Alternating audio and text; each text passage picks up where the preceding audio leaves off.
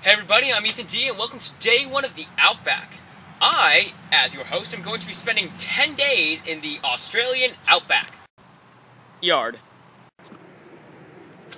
Okay, so it's not so much the Outback as it is my backyard, but uh, I'm still going to be living in it. 10 days living by my brains, my brawn, my wits, and my frozen meal package lean pocket supply things. I'm to love these things. I'm to be living off these and my mustard for all 10 days. Yeah, just realized I, I don't have a microwave to cook these things, but uh, it's still to be great. Did you hear that? There's someone at the door.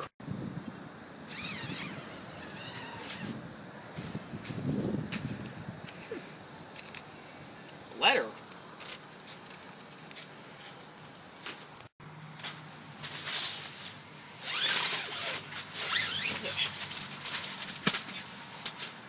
And it appears I have a letter. Let's check it out.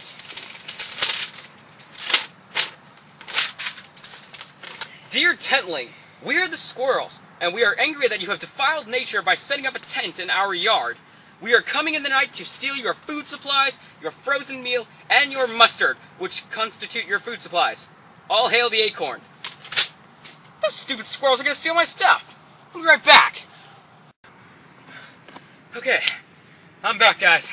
It's been a couple hours. I've been outside working the whole time, and I think I finally squirrel-proofed my house.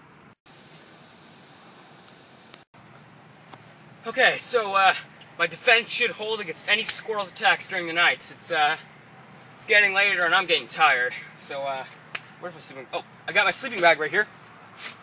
Here's my sleeping bag. It's, uh, supposed to be extra large size.